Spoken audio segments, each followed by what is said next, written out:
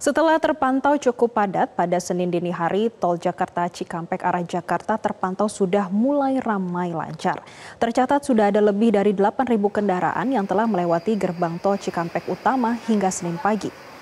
Dari pantauan tim monitor mudik dari gerbang tol Cikatama, tercatat sudah ada 8.550 kendaraan yang melewati gerbang tol Cikampek utama ke arah Jakarta.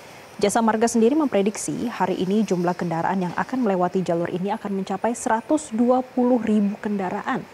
Untuk memastikan kelancaran perjalanan diberlakukan rekayasa lalu lintas berupa one way atau satu arah dari kilometer 414 kali kangkung hingga kilometer 72. Selain diberlakukan pula kontraflow di beberapa titik, Meski demikian tercatat pula adanya sedikit hambatan di antaranya di persimpangan kilometer 66 dan di sejumlah rest area.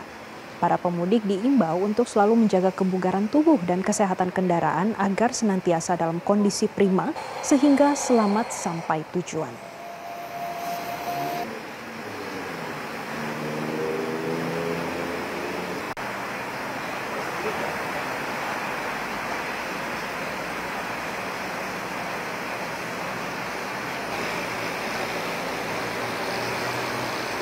Jelajahi cara baru mendapatkan informasi. Download Metro TV Extend sekarang.